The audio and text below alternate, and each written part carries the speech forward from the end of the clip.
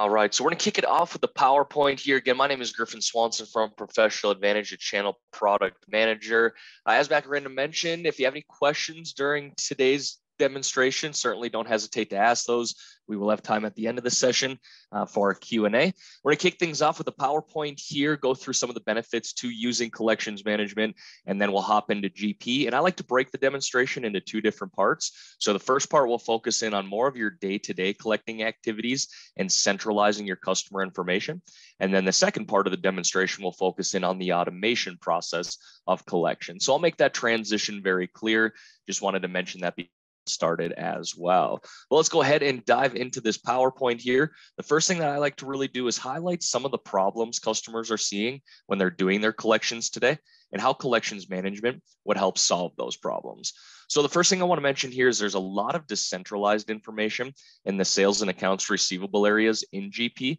One problem we see today is companies just don't have the ability to keep collection history on their customers inside of GP. So they may print off an aged trial balance, keep some Post-it notes, or perhaps have shared an Excel file. The main problem with that is there's really no way to share those notes, conversations, or history with other users, at least not in GP.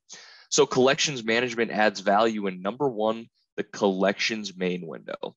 So this is going to be the command center for this product, and it's great for ad hoc inquiry. You'll use this main window for tracking and creating notes, setting up follow-up tasks, and creating actions on your invoices, such as promises to pay, or maybe it's in dispute. You're also going to be able to access what we call a task window, which is essentially going to be your to-do list for this collections module. You can also see there that collection notes been, can be created from the main window as well. And the notes have historically been the hub of collections management, really the main functionality. They allow your users to create actions, keep history, and notes on your customer invoices. You're also going to see those notes there act as a follow-up task. The second pain point that we see a lot of customers have is there's a lot of inconsistent follow-up when doing your collections. And with that follow-up, you're using a lot of manual communication.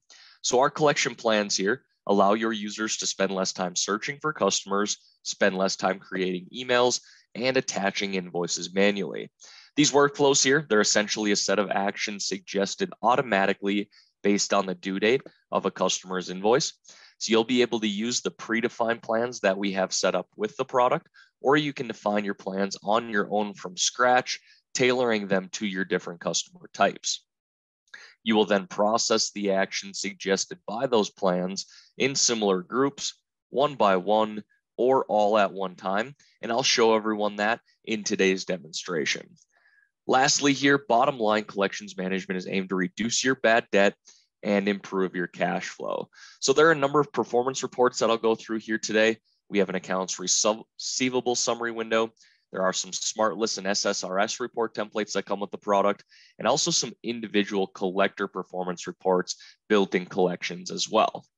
The last thing there with collections, it also calculates your days sales outstanding. So that allows you to track your DSO over time and really measure the return on investment of this product.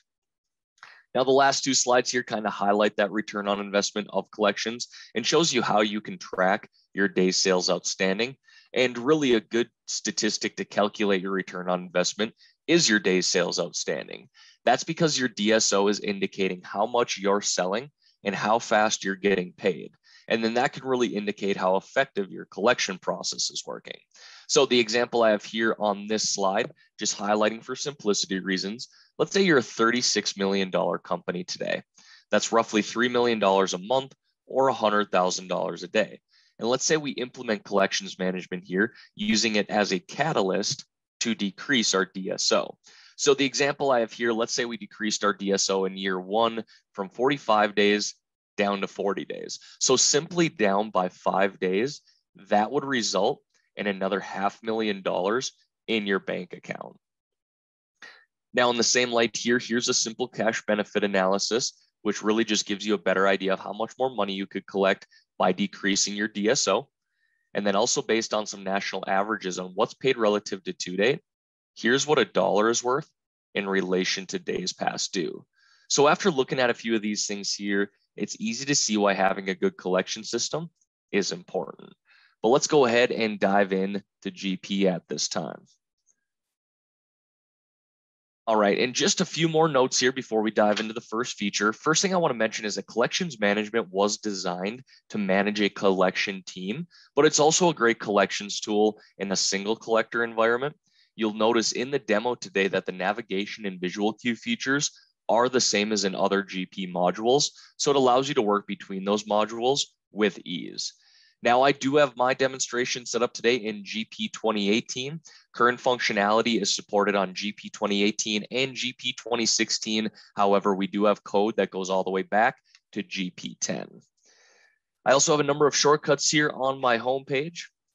That is just for demoing purposes today, but just know when all functionality and windows are installed, they will reside here in the sales area inside of GP. And I'll drill back into this sales area a couple of times throughout today's demonstration.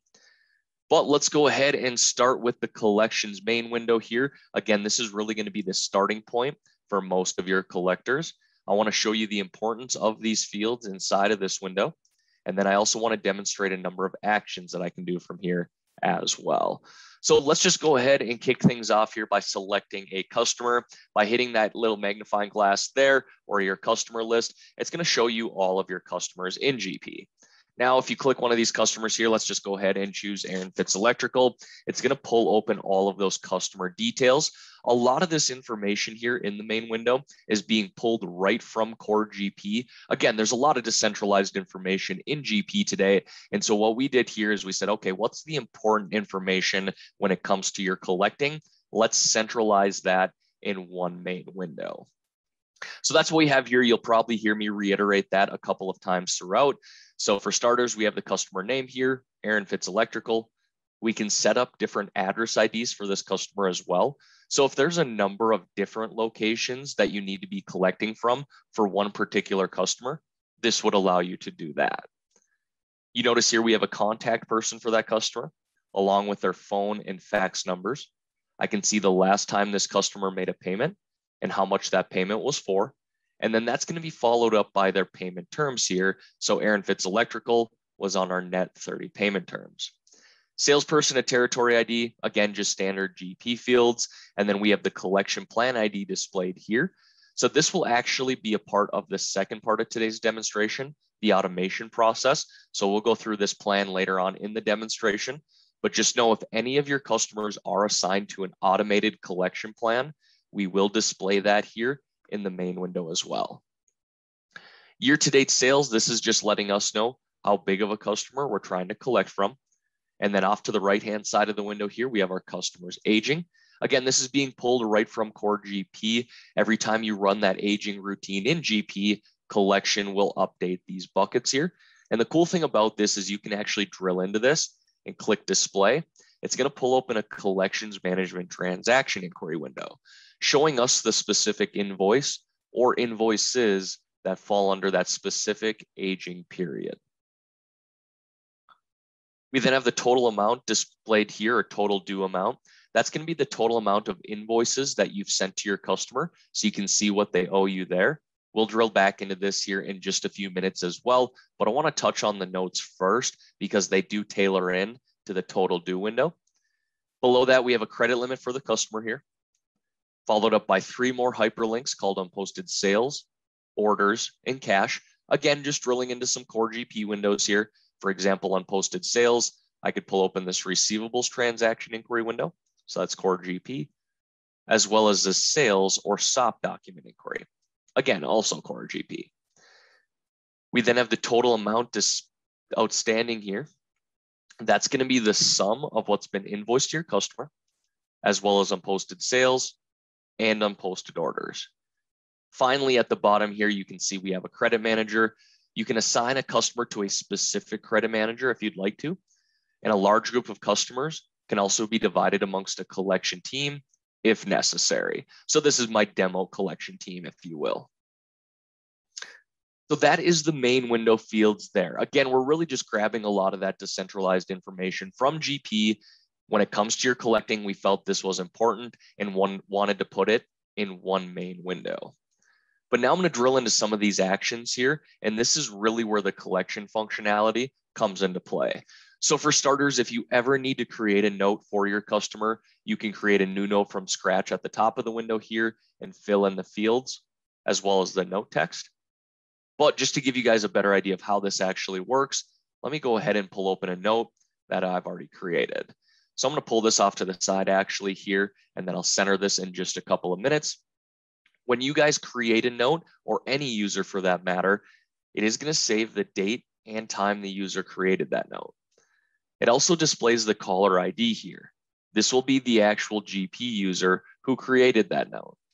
You can then see we have an address and contact person here. That's just matching up with the details back on the main window. And then we can assign this note to a specific priority level. So three different areas or three different options there for a priority level. One of the areas we can filter these notes based off a priority is building a query, something that I'll touch on later in the demonstration. And we've also color coded these notes as well. So if you look back on the main window here, you can see there's a color next to each one of these notes. Let me just scroll down a little bit here to show you each of those colors. So a low priority is gonna be displayed as this clear or white color. Normal priority is gonna be displayed as green. And then a high priority is gonna be displayed as red. So it kind of just gives you a visual representation showing you the priority of each note that you have. Center this again. At the bottom, we have the note text. So this is all open text fields here. You can type in whatever you want this note to read, and we'll even see customers copy and paste email conversations in here. On this particular note, we spoke to Bob Fitz. Bob was telling us he's gonna send a payment by early next week on a couple of invoices. So the next thing I wanna do here then is assign this note to an action. An action is something that you've done, such as a reminder or a follow up. Maybe it's the status of an invoice as well. For example, promise to pay, because that's what Bob said he's going to do. Now, any of these actions here track anything that has occurred in the past or any actions that need to occur in the future. So let me just drill into this here and show you what those actions are. All right, so these are the different actions that I have here. It's just my action lookup, and a lot of these are really straightforward. We got checks in the mail there, sent to collections. Maybe an invoice gets too old, you send it to a collection agency, disputing an invoice, so on and so forth. Now we have an action ID and description here. So these are all configurable. You guys will be able to come in and set up whatever actions make sense for your particular collecting practices or activities. Now, each of these actions and descriptions here are categorized by an action type. And we have three different action types for you. Promise to pay. Your customer's made some sort of notion they're going to submit payment on that invoice. Special circumstance, anything deemed outside of your normal day-to-day collecting activities would fall under that. And then a third category being dispute. Now, maybe you're just going back and forth with that customer, disputing what actually needs to be paid. Now, if you don't want to categorize it with one of those action types there, you can just leave it blank as an action type as none, but these action types here cannot be changed. Those are permanent. So to recap here, the action IDs and descriptions, you guys will be able to change these as you feel fit. However, the action types are predefined and cannot be changed. You'll see those come into play once we drill into the total due window. So in this particular note, again, Bob said he was gonna make payment by early next week. So we chose to have this action type as promise to pay. The next thing I want to do here then is assign this note to an action date. What this action date does is it leverages the note as a follow-up task. So if you set an action date here, that action date goes past due, it's automatically going to launch this note into your task window, telling you that you need to follow up with that customer again because those invoices have obviously not been paid. Now, we're not just making these for past due invoices. Obviously, that is the goal of collections is to collect on your past due and future invoices or receivables. But realistically, you guys can set any reminder to yourself in here by setting an action date and an action ID. The next thing here is if you create a note that isn't for a customer that you particular manage, this would allow you to assign it to the appropriate credit manager. And then you'll select the documents or invoices that this note pertains to. So if you drill into this, it's just going to pull open that collections management transaction window again. All we need to do here is select the invoices that we want to attach for this particular customer. And this is all of the open invoices for that customer. So you can see I have two invoices selected there. Once you have those invoices selected, it's automatically going to default this action amount here to the total amount of those invoices you selected.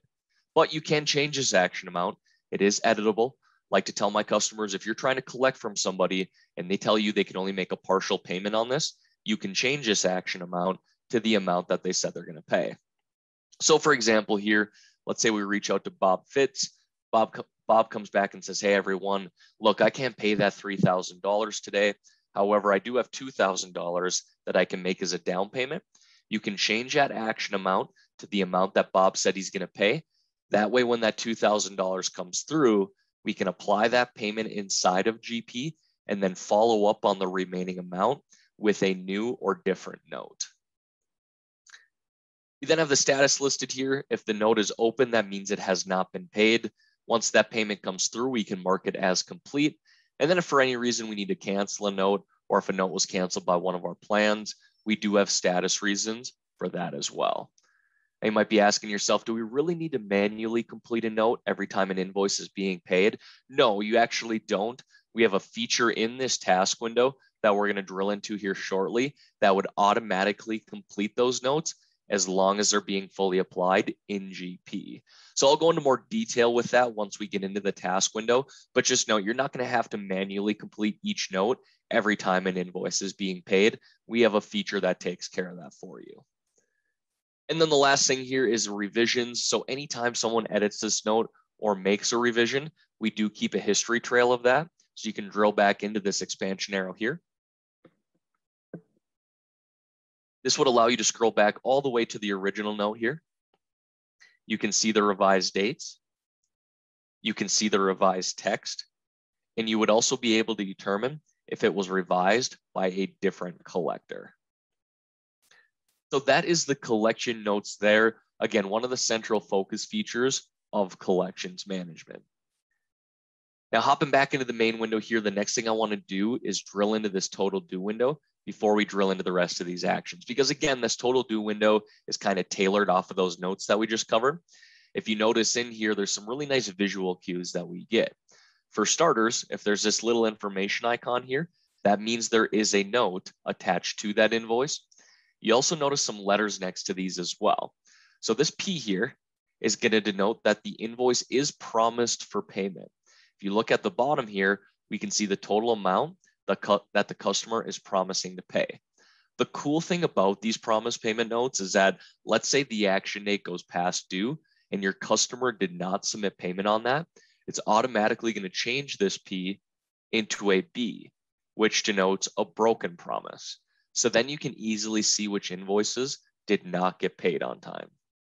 A couple more letters at the bottom here. D denotes that it's in dispute. S denotes special circumstance. Similarly here, you can see the amount disputed, the amount deemed special, and then the remaining amount that your customer owes that was never categorized.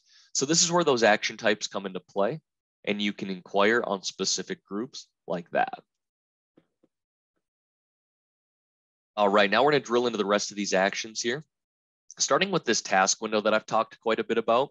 So again, this is really gonna be your to-do list for the day what we've done is we've helped organize this window to help ensure prompt collections on your task. So you can come in here and you can actually focus in on your own individual tasks. If you leave this blank or open, it will show you all of your open tasks for your team. So maybe you got a collector or two who's out on vacation. You want to make sure you do the follow-ups for that user. This would allow you to work on other people's tasks as well. You can then set an action date here too allowing you to focus in on a specific day, given week, given month, really depends on how many tasks you want to be looking at. You can drill into any of these tasks here, review that note or description. You can manually mark them as complete by hitting this checkbox here. You can review all of your completed notes in this window. And then this is where that mark completed button comes into play. So you can see we give you a little description there, but as I previously mentioned, as long as your invoices are being fully applied inside of GP, collections management is going to recognize that and automatically complete these notes for you. Now, we have some customers who are processing thousands of invoices a week, and it's not even realistic to manually complete each one of those invoices. So, this feature here is very beneficial to those types of customers, uh, but honestly, everybody should be taking advantage of this. Again, as long as the pay, uh, payment is being applied in GP, collections management will automatically recognize that. So that is your task list or to-do list, if you will. Next thing I want to show you here then is how to send a one-off email. So let's say we reach out to Bob Fitz here at Aaron Fitz Electrical. Bob comes back and says, hey, send us all of our past due invoices. We can quickly send a one-off email from this window here. So you can see here that you can put the customer's address ID right inside the window. We also have a collection letter here as well. And I was not expecting that to prompt me for a quick password. So let me just see if I can enter that in here.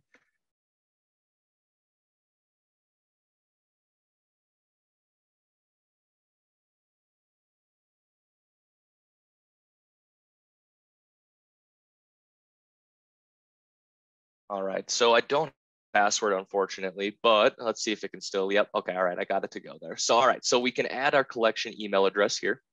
You can manually type these in as well, copy in or blind copy anybody too. Now, collections management, you have the ability to set up what we call a collection letter.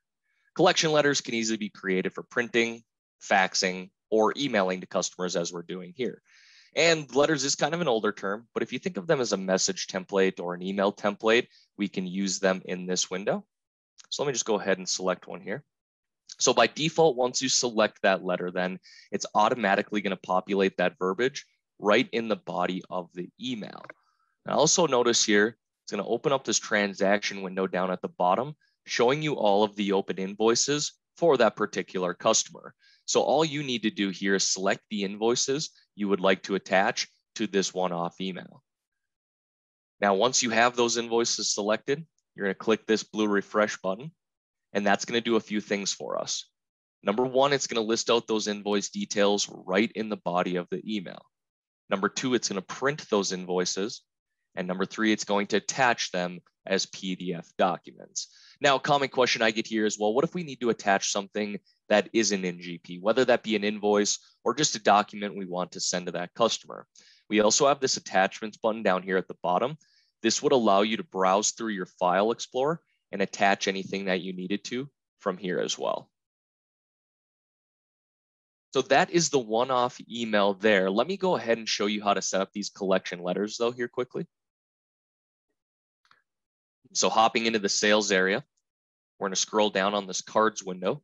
You actually notice a lot of the collection items are being set up here. We're gonna focus in on the collection letters though. And this is going to pull open your letter maintenance window. So this is completely blank, obviously, as you can see here. So you have a lot of freedom when it comes to creating these collection letters. However, we do predefine a couple of things in here for you. If you want, you can attach a specific group of invoices to this email. Let's do overdue invoices here for this example. We can copy in the customer salesperson if we want, or blind copy them. And then we give you five major functions here to include right inside the body of the email. So for example, maybe we just put some customer information in there to start, make this letter sound a little more personal. We can then put in those invoice details. You notice here a lot of functions for the invoices. Ultimately, that is the goal of collections to collect on these. Well, let's stick with the overdue theme here. And then maybe we wrap it up there with some co collector information so the customer knows how to get a hold of us. So a very basic template that I've created here, but you really do have a lot of freedom when it comes to creating these letters. You can always come in and modify them as well, or just purely delete them. And for customers who are just getting started on collections, we do provide this sample data for you as well. This would populate a list of collection actions, letters, and collection plans to help get your team kickstarted with collections management. Hopping back into the main window here, last feature I want to show you from the actions is how to build a query. One of the first problems we've seen with customers doing their collecting today is finding the customers that they should be calling first. That's because most customers using GP today collect using an age trial balance where the customers are sorted alphabetically not by collector. So we can use this build queries window here to focus in on a specific group of customers that we want to work with. So we have two different options here, a standard query and an advanced query. The standard query here allows you to develop that list of customers based on a number of different restrictions. And these are the restrictions that we offer you. So you can focus in on a specific customer, maybe even a specific sales territory. You can focus in on a specific credit manager, balance that a customer owes, or if their balance is greater than their credit limit. We have different aging periods here, due dates, different notes, action types. Here's that priority level we discussed earlier. Here are the action types here, and then reminder levels. So just to give you an idea of how this works, let me just pull open one that I've created. So I'm looking for promise to pay greater than credit limit. So I have two restrictions set for this particular query. I'm looking for customers that have an action type that equals promise to pay, as well as a balance that's greater than their credit limit. So I have my two restrictions set here. Once you have those set, you're going to run this query, click yes, and then at that time, it's going to tell you how many records of yours it's searched and how many met the restrictions that you set. Of those, you can see their total balance and their overdue balance. Now I'm going to click OK here, and you're going to watch this window disappear. That's because we're automatically saving that query for you. And you notice here, we're back on the main window, and we went from viewing all customers to just those who are in that query or met the restrictions for that query. So the first thing I want to do here then is hit this customer ID lookup, and it's going to show us the four customers that met those restrictions. I can also see their balance that's overdue and their total due balance. Now, once I have this query created, I have the option of sending these customers a letter, their invoices, or their statements all at the same time. So I'm going to hop back into the sales area here again. This time we're going to scroll down on the transactions window. You notice here we just built that query there. And directly below that, we have this feature called query letters. So by default, it's going to pull open the query that we just ran, promise to pay greater than credit limit. Here are the four customers that met those restrictions. From this window, I can send them a letter, their statements, or their invoices. And then I would email that from this window here. So I hesitate to call this an automated process because as you saw there, it obviously requires a little bit of manual work, but it also helps eliminate the one-off process as well. If there's a specific group of customers that really need to be receiving the same thing. So for example, here, let's say you come in and create a query that says, show me all of my customers that has an invoice that's 90 days past due or older. So you run that query and you get a list of 20 customers back rather than sending those 20 customers the same one-off email over and over and over again, you can use this window here and send them all at the same time. So for example, here, let's say we do that and say, all right, they're gonna get their final letter here. You can actually build these letters in real time and then review them as well. And you're gonna see these details change here based off that specific customer's information. So then you can review those quickly and then process that by sending out that email. So again, uh, not an automated process, but it does eliminate the one-off process if a specific group of customers need to be receiving the same thing. Hopping back into the main window here, one more thing with these queries is an advanced query. And basically what we've done here is allowed your team to use SQL script to, uh, to build a specific query. So the standard query here is kind of limited by the restrictions that we have. So if there's a specific group of criteria or customer data that you want to focus in on, you can use SQL script to build a query as well. All right, everyone, that is going to wrap up the first part of today's demonstration. At this time, we're going to transition over to the automation process. And we're going to start with that collection plan that I pulled open earlier here. Let me just give you an example of how that would work. So I have three different examples for you guys here today. The first one is a good customer plan. What these plans are is step, steps or actions that execute action, or excuse me, steps or workflows that execute actions based off your customer's oldest outstanding invoice. So we have a few different plans. Like I said, this is a good customer plan here. This might be something that you assign to your customers who are notorious for making their payments on time, more of a relaxed plan, if you will. Now, for those who don't make their payments on time, we got a high risk plan here as well. We're going to follow up with them a little more frequently. And then I have a regular collection plan here as well. Maybe this is the standard plan that we use by default to assign to all of our new customers. Now, again, these plans are going to be executed here based off the customer's oldest outstanding invoice. So the first step in this plan here is actually happening seven days before the invoice is considered overdue. What's happening is we're executing an action here called soon due. Now I can drill into any of these actions here and review what's going to happen at this level or step. So I review into this. I say, okay, it's a soon due action. Invoices are coming due, and it's a letter that we're going to send the customer. So I can drill into this letter ID, and you can see here it pulls open that letter maintenance window that we just covered a few minutes ago. In this particular letter, we're letting them know they have invoices with us that will soon be considered overdue. All the invoices we attach to this email include all invoices not overdue. And then in the body of the email here, you can see we include all invoice details along with some collector information. So you can see a lot of verbiage in here. Again, you have a lot of freedom when it comes to these collection letters, and this is how you would attach that to your automated collection plan. Now, this will take your customer through the steps in this plan as long as their invoice has not been paid. So five days past due, we send a reminder. 14 days, we're scheduled to make a phone call. 30 to 45 days, couple more letters, so on and so forth, coming into 90 days past due, the final action. So what, once your customers reach the last step in their plan, we basically give you two options. that's called at last step. So number one, we can keep repeating that last step. Maybe we just send the customer an invoice every 30 days or a reminder every 30 days, telling them that their account has been put on hold. Or we just stop that next action. Now, maybe we send them to a credit agency at that time. Now, kind of a third and unwritten rule is moving them to a new collection plan. You can see here you have all the way up to 20 steps. So maybe up to step 10, 15, or even 20, you say, let's move them to a new collection plan.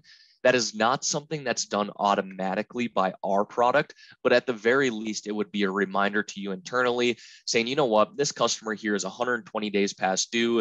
They're not really responding to the regular plan. Let's go ahead and put them on a high risk plan and follow up with them more frequently. The last thing here is the minimum amount due. So this is allowing you to basically set a floor here for each of your plans. And if your customer's invoice does not meet or is below this minimum amount due, it will not take them through the steps in this plan. Now you can change that amount for each plan that you have set up, and you can even zero that out if you want to as well. So the question is, okay, we assign customers to these plans here, but how are we really executing these actions? We're gonna do that from the plan processing window. So a little bigger window here, bear with me, but what we're looking at is all of our customers on a collection plan scheduled to get their next actions. So I can sort these in a number of different ways. I can look at all of our customers with a balance, all of our overdue customers. I can sort by a collector or query that I've built. Or maybe I just say, hey, show me everyone who's at the end of their collection plan. Let's do overdue customers here today. Now you can see it's going to show you all of your customers who have an invoice that's overdue. Now you could filter them by a specific customer. You could filter them by a specific collection plan, the last action they received, or the next action they're scheduled to get. So for example, let's do all overdue customers on a high risk collection plan. There you can see it's only going to populate those who meet that specific criteria I could then bulk send all of those customers their next actions by clicking process all customers. But honestly, everyone, the ultimate goal of this window here is to be able to review all of your customers and the actions are scheduled to get. So I just change this back to all here. Let's say you're running through this list. You go, hey, wait, wait, wait, wait. Pacific Digital, I just spoke with them on the phone yesterday. You can also select customers in here individually like I just did, and it's going to show you their documents or invoices that are due for payment in the middle of this window.